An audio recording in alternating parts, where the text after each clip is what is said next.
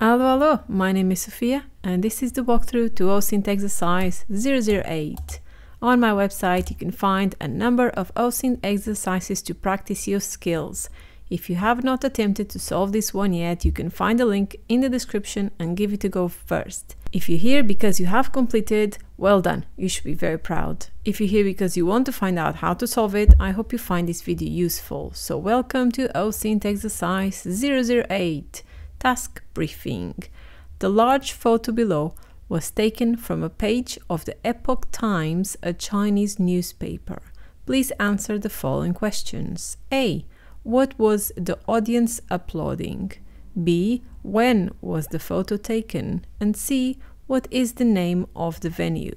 You can click here to open the photo on a new tab so you can see it a bit better.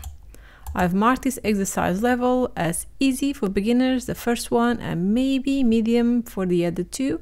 For experts, I would say all of them are easy. This photo of a Chinese newspaper does not require a warning due to copyright, since I took it myself. And if you're wondering why I had a copy of a Chinese newspaper, I will never tell. Great start. Okay, let's answer the questions then. First thing we need to do is to analyze the image to see if we can find anything useful to our little investigation. You can see a website right there, right at the top. And this part is in English, so we can check out this website and see where it leads us. So let's try to put this website here. So we have www.rg1. I have no idea how to pronounce this, so hopefully it all makes sense. And if you click it, it is a Chinese newspaper as you'd expect. And at the top, it has been redirected to epochtimes.com, like I said here. So as you can see, that was not a trick. I would never trick you. okay, let's go back to the, the image. We have a very large audience in a big venue. The people in the front at first glance seem Caucasian, so we might be looking at a big city in Europe, North America, perhaps Australia. Whatever people were watching was likely being held in a large building, probably within a large city. That means that when we find a possible location, we might be able to compare it with our newspaper photo. A place this big will certainly have plenty of photos online. On the right side of the image here on this section, there's a long column with text and a smaller photo featured. The section seems to be separate from the larger photo, so it may or not be related to the main story. There's a few English names, you can see one there, another one there, and so on. But as we are not sure that this story has anything to do with the photo, let's just leave it for now. At the top of this photo that I took of the newspaper, there is a date. So you can see the date here. It says the 12th January 2023. We know that the 12th is the day and not the month because I'm releasing the video in February 2023 and I do not have access to a time machine yet. Now that we have analyzed the image, we need to see what the text says. I do not read Chinese and I'm going to assume that most people listening to me now also do not read Chinese. But that's not a problem. Over 95% of the content I investigate online is in languages I do not understand and that never stopped me and shouldn't stop you either. So how do you translate text from an image? You Google it. if you have read my, here we go, my frequently asked questions page, you'll know that I do almost anything with Google. This exercise is not an exception. Why make it more complicated when you can just keep it simple? So let's just do that. So right click, reverse image search, and just go with Google. That's it, nothing else. Google will already give you some results on the right with visual matches. I can tell you already that none of them will be useful here. You can even try to select only the section of the photo that has the venue, so this bit here, and yet Google is not going to give you any useful results. I made sure of this. We don't want this to be too easy, do we? So if we're not here for the image results, what are we doing on Google Image? We're going to use Google Lens to translate the text for us. So let's increase again the border so it has all the page and we click it down there where it says translate. So it'll just detect that it was written in Chinese from Taiwan and I want it to English. So this is the full translation of the text.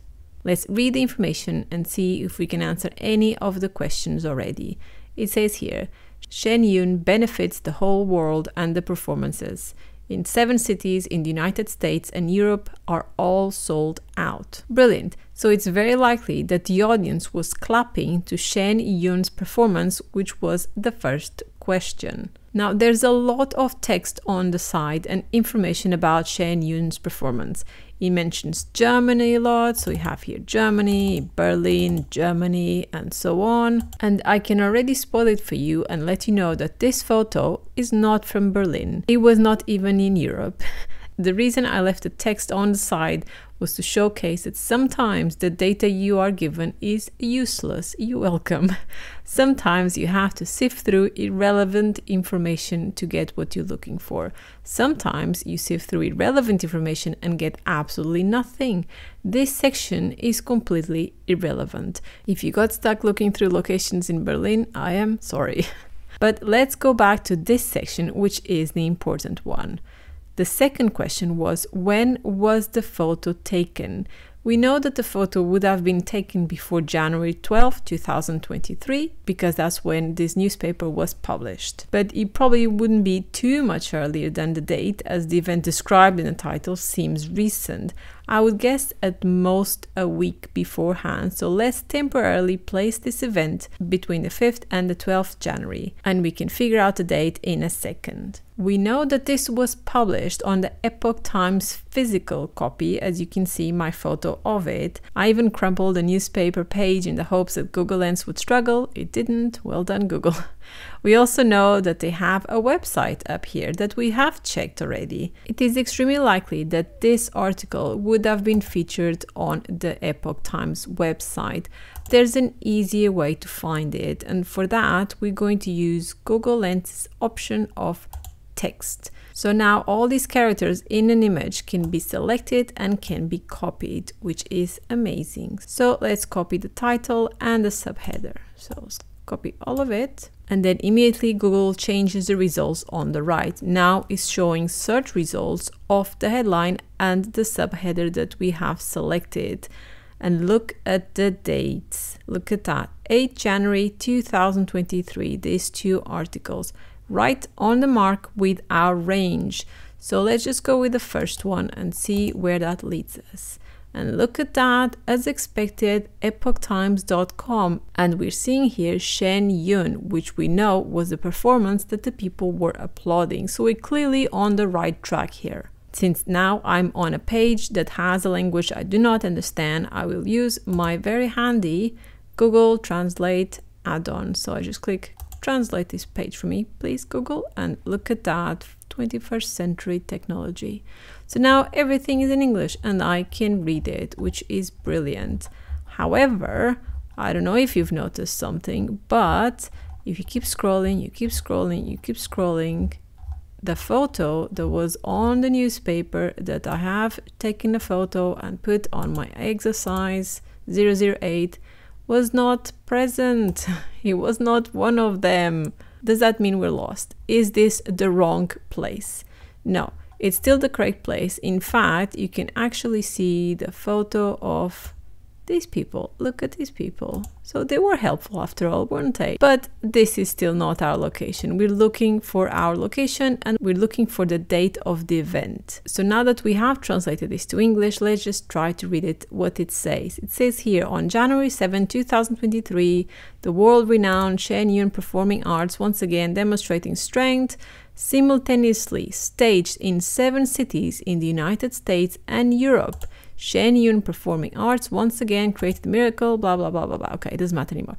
Okay, what does it say here that's useful to us? It says that on January 7, 2023, they performed simultaneously in seven cities, United States and Europe. That means that the photo that we have for exercise 008 would have been taken on January 7, 2023, because all of the performances were exactly on the same date. So we have answered question number two, which was when was the photo taken? The photo was taken on January 7, 2023. But we still need to find the exact location of that photo.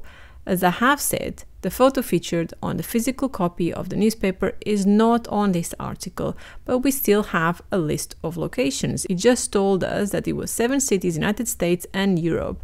You can skip scrolling, it'll tell you the cities, say San Francisco, Atlanta, Norfolk, Austin, Dallas, Berlin, and Birmingham. Already know it's not Berlin because I already spoiled that for you. It's not Berlin. It's not also in Europe. I already said that as well. So it's not Birmingham.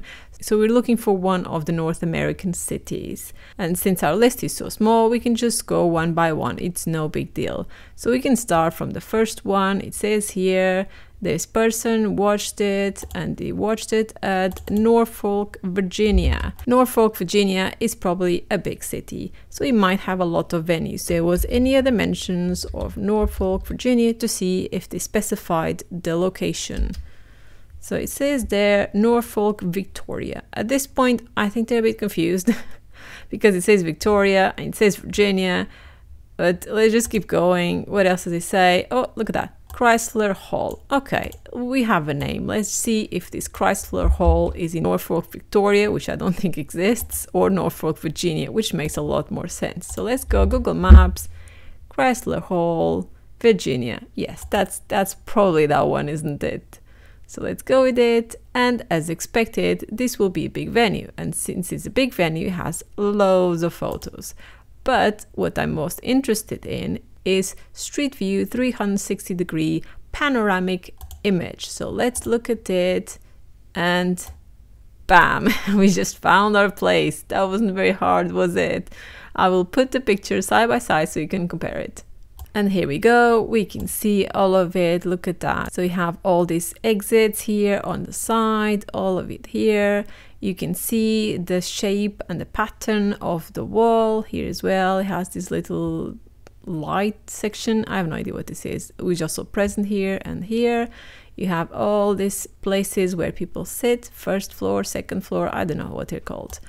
And you can even see the patterns in the ceiling with the lights. I mean, this is an absolutely perfect match and it answers our third question. So now we can go back for the third one. What is the name of the venue? The name of the venue would be the Chrysler Hall in Norfolk, Virginia. So a quick summary again, what was the audience applauding? They were applauding Shen Yun's performance. When was the photo taken? It was taken on January 7, 2023 and the name of the venue, as I've literally just said, is Chrysler Hall, Norfolk, Virginia, United States of America. And that is it. That is how you could have answered all three questions in a very straightforward way. I hope you find the video useful or at least entertaining.